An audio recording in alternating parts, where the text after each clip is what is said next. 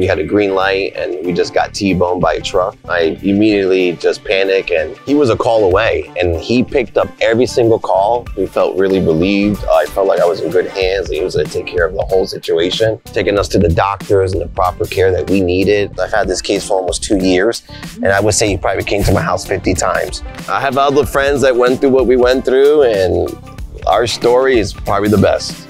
Good golly, Sebaaly.